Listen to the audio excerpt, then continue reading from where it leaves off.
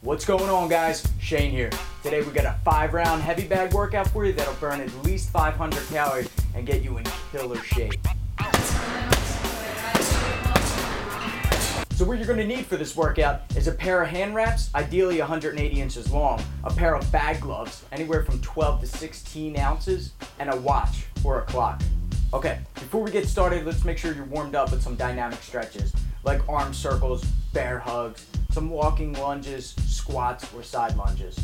Just sort of start to get warm, warm your muscles up, and get ready for the intense workout ahead. All right, guys, let's get it started.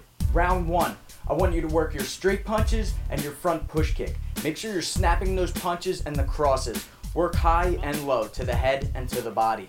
Make up your own combos. Make sure you're stinging that bag, guys.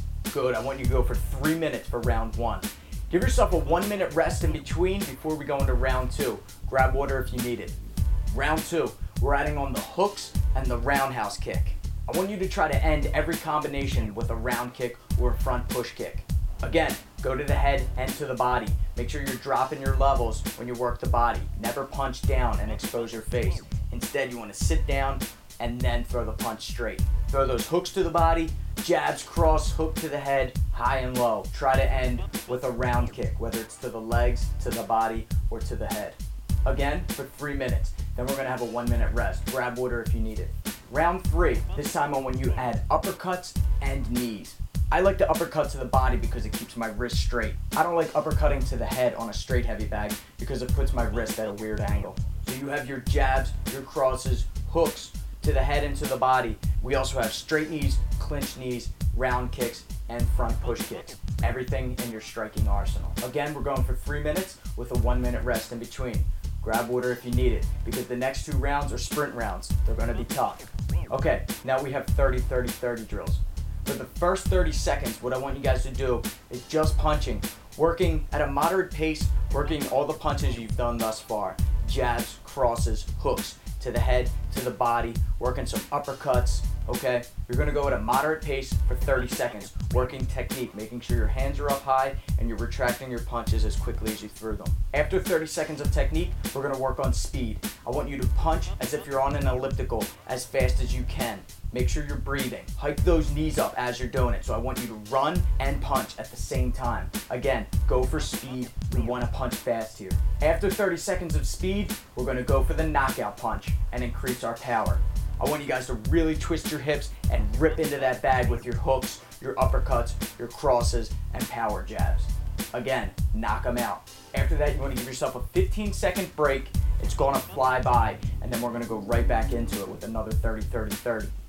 After that round, you got one minute rest, grab water, I know you need it. We're going into the fifth and final round. It's another sprint drill, another 30, 30, 30. Okay, for the first 30 seconds of the fifth round, again, we're gonna work technique, but I want you to not only work your punches, but also add in kicks and knees. Work your technique, making sure everything is flawless and sound. After 30 seconds of technique, we're going into clinch knees. Clinch up with the bag with your forearms and make sure you push and pull the bag. You control it. Make distance by pushing and then pull the bag into your knee. Go sequential left, right, left, right, skipping into knee after knee. After 30 seconds of knees, we're going into left, right kicks. Make sure you control the bag. Again, find your balance, find your rhythm. Left kick, right kick. After that, give yourself a 15 second rest because we're going back into it one last time. Again, work your technique after those 15 seconds. Make sure you're breathing, controlling your breathing, working your technique. Then, after those 30 seconds, you're going back into the clinch knees, ripping your knees into the bag, push and pulling, controlling that bag. Finally, we're going into the round kicks, left, right, sequential, one after the other. It's the last round, guys. Make sure you empty out that tank and go hard. Good, guys. So, just to recap on what it is the first round, I want you to go straight punches, jabs, and crosses to the head and to the body, and also throwing front push kicks. The second round, we're adding on the hook and the round kicks. So now you've got jab, cross, hook, round kicks, and front push kicks. The third round, you're adding on the knees and the uppercut. So you have jab, cross, hook, uppercut, round kick, front push kick, and the straight knee or clinch knee. The fourth round is all punches, sprints. Well, first we're working technique with your own combos, and then we're going for speed on the elliptical. Finally, go for that knockout punch, twisting your hips, finding your power.